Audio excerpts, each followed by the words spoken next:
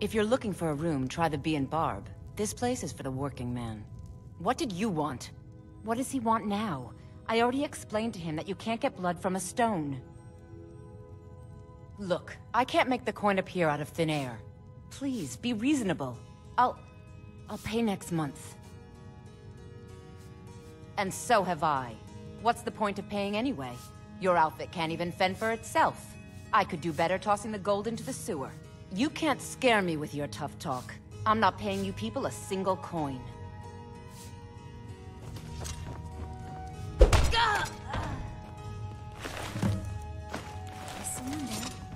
Yeah!